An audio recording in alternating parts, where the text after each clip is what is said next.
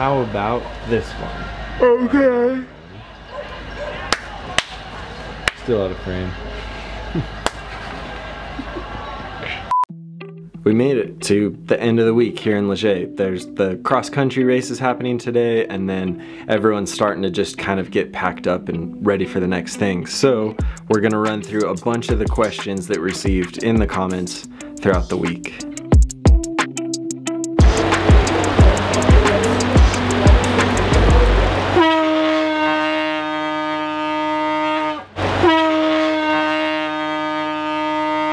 What's one thing you'd like to implement to get faster?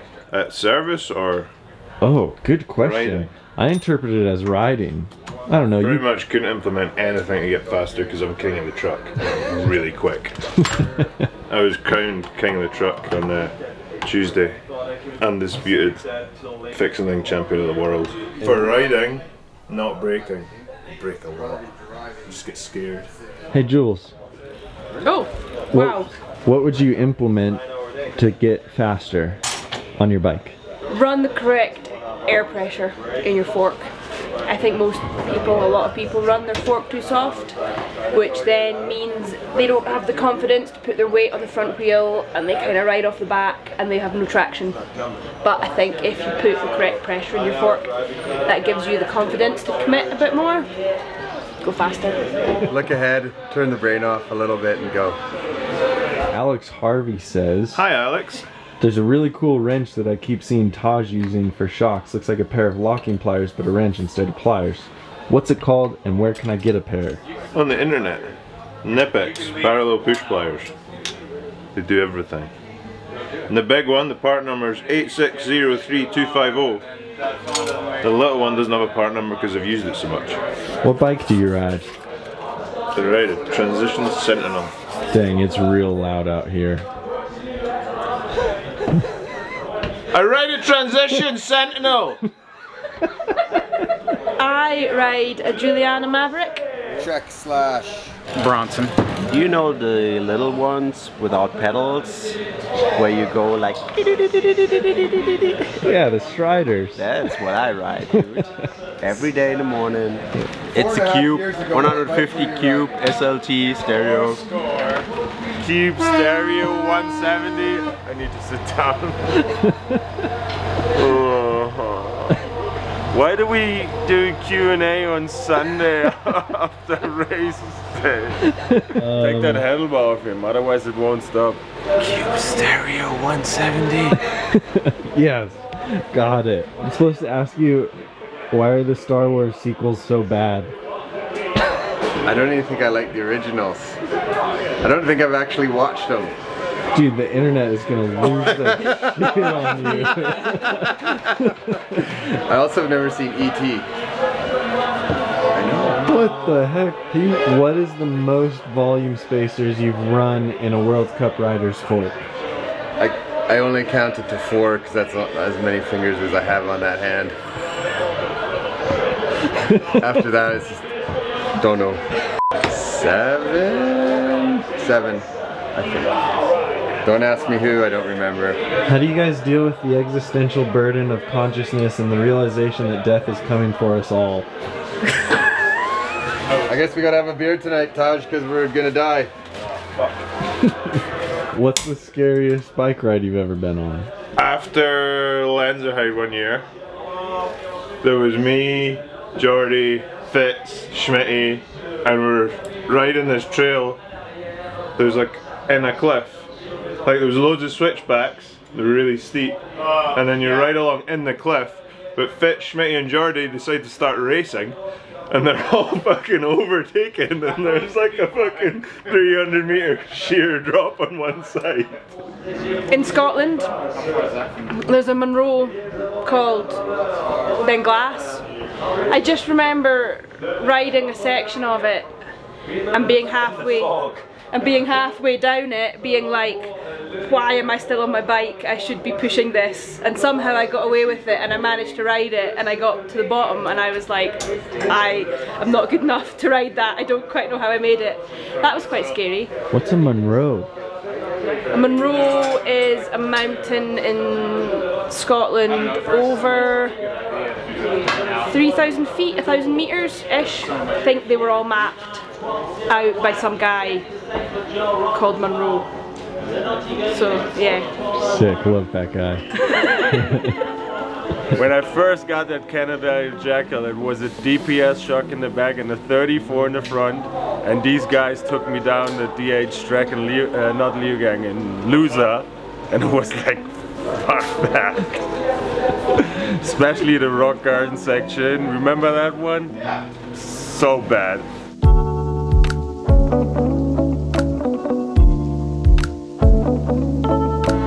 You answered this one yet. What's the scariest ride that you've been on? I'm trying to remember. I don't have a ton of scary ones. Uh, maybe six months ago, we were in Bellingham with uh, Alan Cook and Lars Sternberg, and like way better riders than I am. And the stuff we rode with them scared the shit out of me, like every time. Like sitting in the entrance of the trail, just like. And they all disappeared. oh, fine. so I'll take Bellingham. If Paul Thede is the moto suspension godfather, who fills that role in the pedal powered world? Oh shit. Yeah.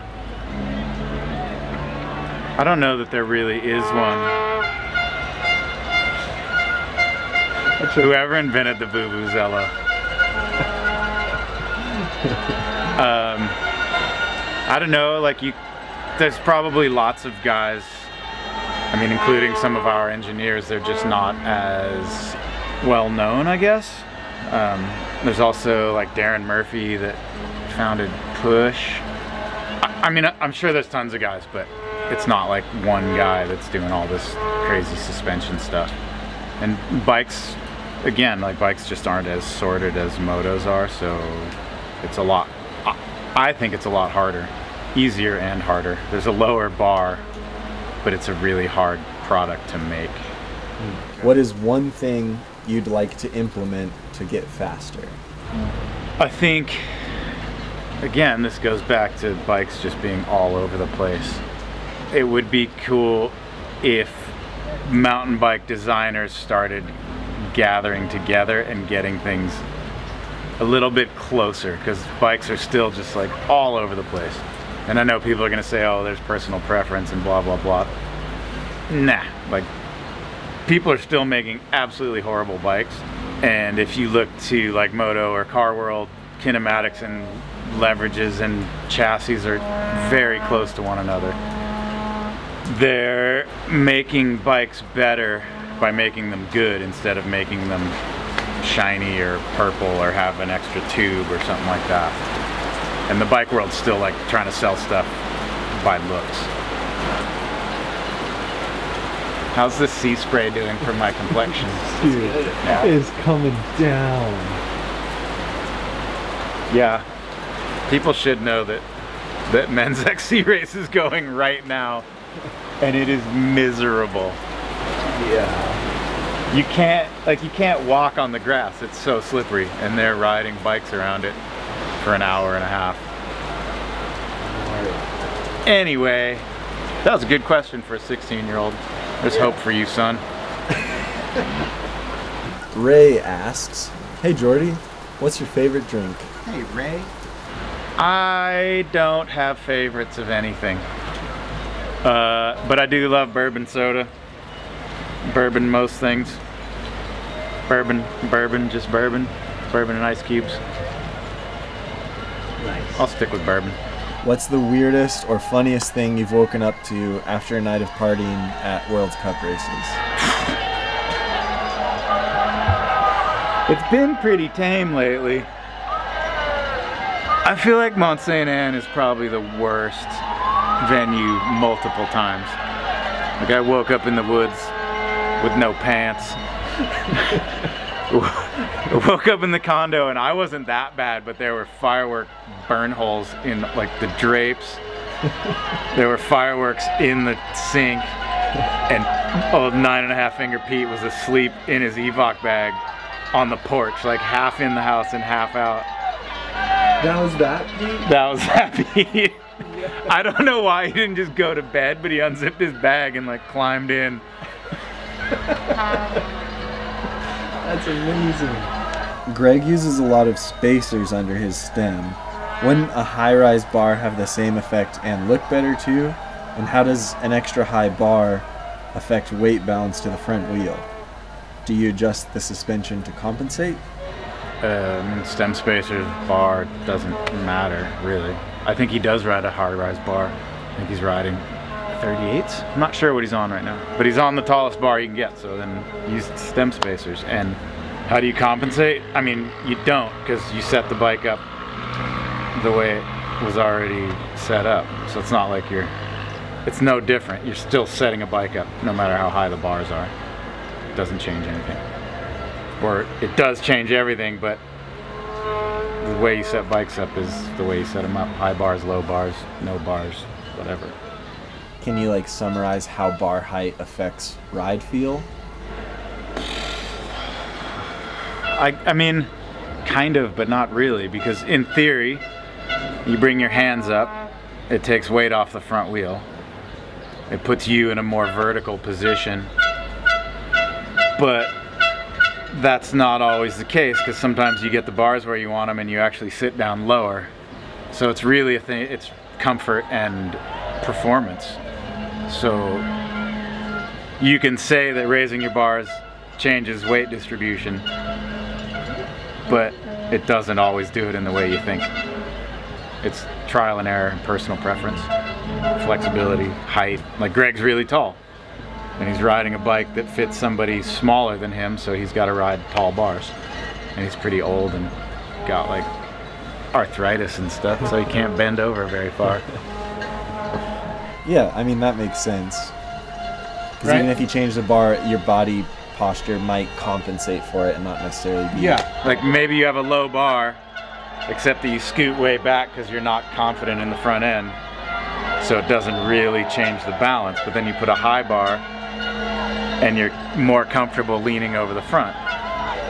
So it's like, it's not one to one. It seems like most of your riders are running the DHX2 rather than the Float X2 compared to a few years ago when there was more of a mixture. What is this attributed to? Probably bike manufacturers figuring out how to make bikes, making them coil compatible instead of needing an air shock to ramp up, prevent bottom out. Do you do custom valving for different riders or bike frames with different suspension kinematics, leverage ratios, or is everyone running basically the same internals and then just adjusting sag and settings? Both. Like the top guys were definitely tuning internally. Like on the race side we tend to get testing done pretty early and come up with something that's relatively acceptable for most people since for the most part all the downhill bikes are running the same shock. Same length, same leverage, mixed by a little bit, so we can come pretty close and then for the top guys we definitely put a little bit of extra time in and try to find something that works. Obviously some riders are really into it some riders couldn't care less. Forks until just now have been 100% out of the box. Now we're just trying some other stuff enduro bikes maybe a little bit more because there's such a huge variation in travel and shock size and leverage rates so they also, yeah, we do some custom stuff, but it's definitely not across the board. Um, whoa, this question's only 12 seconds old. Damn, just snuck that one in. Um, why are downhill forks reversed to moto forks? well, some of them aren't. I mean, people do make upside down forks for mountain bikes.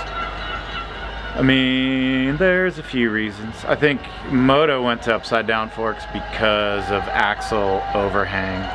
Like they needed to hang the fork so far below the axle that it was dragging in ruts and it would was kind of an obstruction. Bikes don't have that problem. We're not using as much travel. We don't have as much stuff going on in the interior and we're using an air spring for the most part. We don't have the axle overhang issue. Uh, upside down forks tend to be a whole lot heavier and to make them as stiff laterally you need to make them really stiff, really heavy sorry. So it's just, it's not, right now, it's not really feasible. People keep trying, they keep failing. I don't really understand the point in doing it. It's not like they do something better. I think people just think it looks cool and that it's moto, so it should be better, but it's not much point. Forks work good. What's next? Where are you guys going? Where is everyone riding? What's happening? Uh, tomorrow we're gonna drive to uh, La Thuile in Italy for the next round of EWS. Sunday, I think most of the crew is gonna drive home. Taj and Jules will go back to Scotland. You guys will all be home in Colorado. Pete's gonna go back to Canada. Uh, Pascal's going back to the motherland. And I'm undecided. I'm either going to go to Finale for a couple weeks and then go back to Slovenia to help some guys at the IXS. Or maybe go home. Riding some blown out Santa Cruz moon dust trails. This is probably a good time to figure out when we'll be back. Oh yeah, August 9, I guess. Monday, August 9. Monday, August 9th. Yeah, like usual, if you haven't already, subscribe so that you know when Dialed is back, and we'll be back for. God, Jordi's in the background pointing to where the subscribe button is. I always wondered if I could do that. Yeah, this is your chance. This is your shot to be a real YouTuber, Jordi. Oh, just choked completely. if you're a real Dialed fan, we'd really appreciate it if you click like and hit the subscribe button. nailed it. You nailed it. All right. Thanks everyone for watching. We'll see you August 9th in Maribor.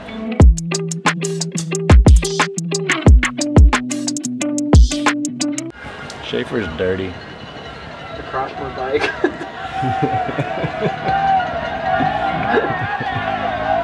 Between here and the pit? Pretty much. oh, Schaefer. Good work, Shafe. Thanks. Thanks for filming. You gotta film him now. Oh, there you go. Say, good work, Jake. oh yeah, sorry. Good work, Jake. Good job filming. Thanks, Shafe. Yeah. Good job, Jordi. Thanks, Jake. Good job, Jake. Schaefer. Thanks, Shafe. Good job, Jordi. Thanks, Schaefer. Good job, Jake.